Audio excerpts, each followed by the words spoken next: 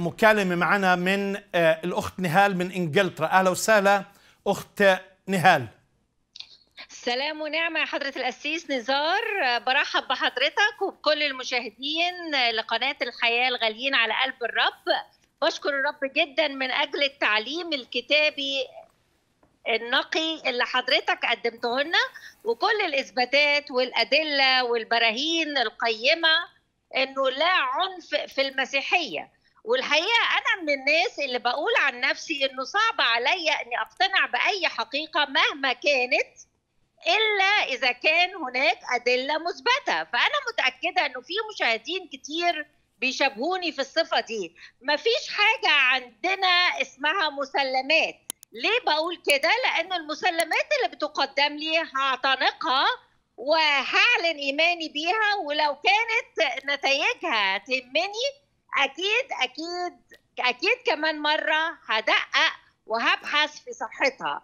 فلو حد جه وقال لي أنتوا في دينكم يا نهال العنف واضح خاصة في العهد القديم هسأله على طول طب والعهد الجديد؟ هيقول لي لأ العهد الجديد مذكور صراحة في إن الله محبة. فهقول له على طول أنت مش شايف إنه ده اعتراف ضمني من حضرتك انه الله بيتغير؟ انه هو إله عنيف في العهد القديم وإله محبة في العهد الجديد أكيد إجابته هتكون ليا يا حضرة القسيس حاشا لأنه الله واحد ثابت منذ الأزل وإلى الأبد لا يتغير ولا يعتريه ظل دوران.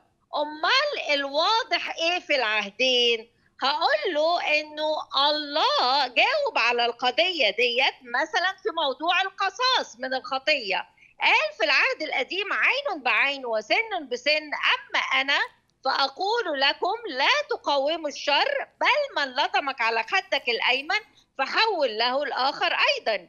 يعني كان عايز يعلمنا إننا نرفع عيوننا من على تطبيق الناموس بالحرف إلى تطبيق عهد الرحمة والحنان والرأفة والنعمة.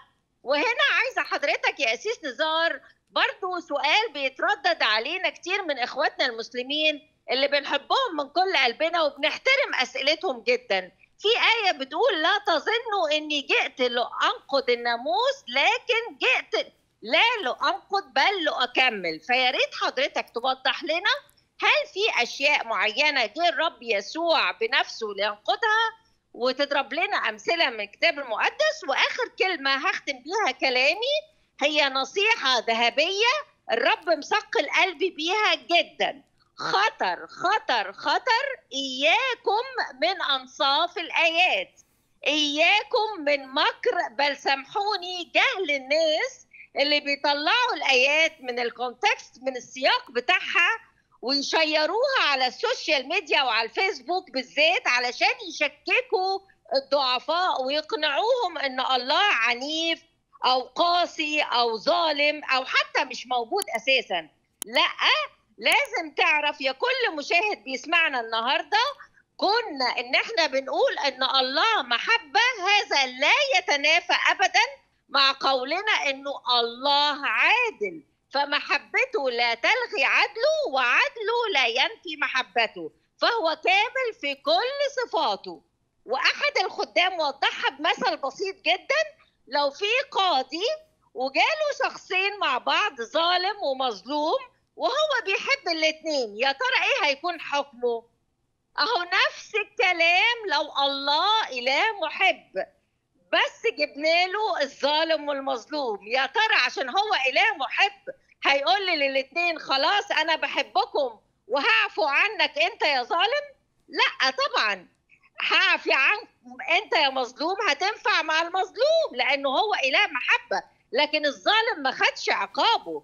فبنفس الطريقة التشبيه مع الفارق الله بيحب المظلوم ولازم يكون عادل مع الظالم وهيديله فرصة إن يرجع ليه من خطأه ويقدم له توبة حقيقية وأكيد أكيد هيقبله. والرب يبارك. ربنا يباركك. شكرا كثير على هذه المداخلة. أخت نهال وعلى فكرة يعني للرد على سؤالك وتوضيح موضوع العنف في العهد القديم. راح أكرس حلقة كاملة فعلا في في البلان يعني في الخطة.